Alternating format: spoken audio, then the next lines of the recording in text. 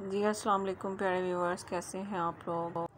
जी, प्यारे व्यूवर्स, कैसे हैं आप लोग? जी, शुक्र, अल्लाह का हम भी ठीक हैं। जी, प्यारे व्यूवर्स, आज हम आपके साथ शेयर करेंगे कढ़ाई जी, हमने एक पैन लिया है, उसमें हमने प्याज ऐड किए हैं। जी, प्यारे व्यूवर्स, आज हम आपके साथ शेयर करेंगे बीफ कढ़ाई की मज़ेदार सी रेसिपी। जी प्यारे व्यूवर्स, अब हमने इसमें ऐड कर दी हैं सब्ज़ मिर्चें जो कि हमने काट के रख ली थी। जी प्यारे व्यूवर्स, बहुत ही मज़े की कढ़ाई बनने जा रही है। जी, जुड़े रहे हमारे साथ और देखते रहे। जी प्यारे व्यूवर्स, अब साथ ही साथ हमने तकरीबन चार से पाँच अदद टमाटर थे जो कि हमने काट के रख लिए थे। अब हमने वो ऐड किए हैं कढ़ाई पैन में। और प्यारे व्यूवर्स, अब हम साथ ही साथ इसमें मज़ीद दूसरे मसाले ऐड करेंगे। जी प्यारे व्यूवर्स, अब हम इसमें ऐड करेंगे हाफ़ टी स्पून तकरीबन सुरख मिर्च जाएगी इसके अंदर।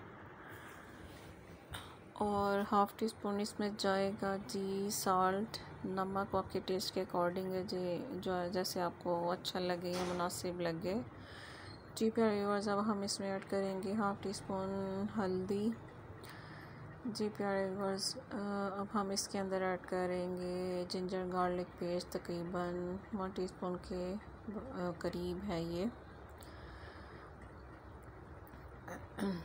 जी, आज हम बना रहे हैं बीफ कढ़ाई की मज़ेदार सी रेसिपी जो बहुत ही मज़े की बनने जा रही है, जुड़े रहे हमारे साथ देखने के लिए। जी प्यारे वर्स अब हम इसमें ऐड कर देंगे पानी और इसको पकने के लिए रख देंगे तकरीबन दस से पंद्रह मिनट ताकि ये मसाले जो हैं वो यकजान हो जाएँ और गर्म, बिल्कुल सॉफ्ट हो जाए। जी प्यारे वर्स यहाँ पे हमने ली है कढ़ाई अब हमने उसमें ऑयल जो है, दो खाने के चम्मच ऐड कर दिया है। जी, जैसे ही ऑयल गरम होगा, हम इसके अंदर जो मसाले हमने पकने के लिए रखे थे, उनका मिक्सचर जो है वो रेडी हो चुका है। जी, हमने उसको ग्राइंड कर लिया था। जी, अब हमने वो ऐड कर दिया है इसमें। जी प्यारे वर्स अब हम इसको अच्छे से भून लेंगे। बहुत ही मज़ेदार सी बीफ कढ़ाई जो कि बनने जा रही है। जी प्यारे वर्स जुड़े रहे हमारे साथ मज़े मज़े के खाने, मज़े मज़े के पकवान और मज़े मज़े की रेसिपीज़ देखने के लिए।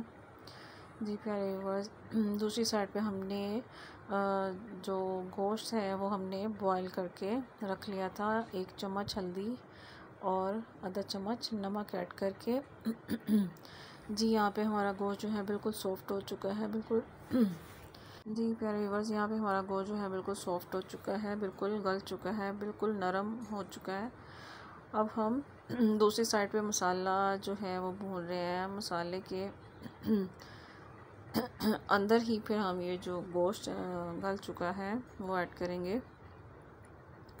जी प्यारे व्यूवर्स दूसरी साइड पे हमारा मसाला जो है बिल्कुल तैयार है। मज़ीद हम इसको पाँच से छः मिनट और भून लेंगे अच्छे से।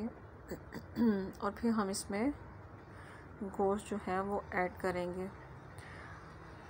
माशाल्लाह से बहुत ही मज़े की लोग आ गई है। जी प्यारे व्यूवर्स मसाला जो है वो अच्छे से भून चुका है। जी प्यारे व्यूवर्स अब हम इसके अंदर वो जी प्यारे व्यूवर्स, अब हम मसाले में जो गोश्त बॉईल करके रखा हुआ था, वो अब हम इसमें ऐड कर देंगे। जी प्यारे व्यूवर्स मसाले की बहुत ही मज़े की खुशबू आ रही है। जी, जा चुकी है और सब अपनी अपनी मसरूफियात में मसरूफ़ हो चुके हैं। और बच्चे भी स्कूल अकेडमी बस सब सिस्टम रूटीन में आ चुके हैं। जी प्यारे व्यूवर्स, जुड़े रहे हमारे साथ। जी प्यारे व्यूवर्स मसाला जो है, अच्छे से भुन चुका है। अब हम इसमें गोश्त ऐड करेंगे। माशाल्लाह से बहुत ही सॉफ्ट हो चुका है गोश्त। अब हम मसाले में गोश्त ऐड कर देंगे। जी प्यारे व्यूवर्स जो बाकी गोश्त रह चुका है, वो भी हम इसमें ऐड कर देंगे। और जुड़े रहें हमारे साथ मज़े मज़े के खाने मज़े मज़े के पकवान मज़े मज़े की रेसिपीज़ देखने के लिए। जी प्यारे व्यूवर्स बहुत ही सॉफ्ट और नरम गोश्त है और बहुत ही मज़े की खुशबू आ रही है। अब तकरीबन इसको हम 10 से 15 मिनट तक भूनेंगे। और जी प्यारे व्यूवर्स अब इस गोश्त को हम अच्छे से 10 से 15 मिनट तक भून लेंगे और उसके बाद फिर हम इसको दम पे रख देंगे तकरीबन 10 से 12 मिनट के लिए ताकि अच्छे से इसकी यकजान हो जाए और घी जो है वो हमारा ऊपर आ जाए और अच्छे से जो हमारा खाना है, सालन का वो रेडी हो जाए। जी प्यारे व्यूवर्स कैसे हैं आप लोग? आप लोगों की ईद कैसी गुजरी है? जी प्यारे व्यूवर्स प्लीज़ हमें कमेंट में बताएँ कि हमारी रेसिपी आप लोगों को कैसी लगती है। Please subscribe my YouTube channel cook with taste जी प्यारे व्यूवर्स देखने के लिए जुड़े रहे हमारे साथ। जी प्यारे व्यूवर्स, ये देखिए अब मज़ीद हम इसको अच्छे से भून लेंगे और फिर हम इसको दम पर लगा देंगे और ये आहिस्ता आहिस्ता यक जान हो जाएगा और बहुत ही मज़े का सालन रेडी हो जाएगा। जी प्यारे व्यूवर्स, ये देखें हमने मज़ीद इसको भून लिया है। अब इसका ऑयल देखिए लाइट लाइट सा ऑयल जो है वो ऊपर आ चुका है।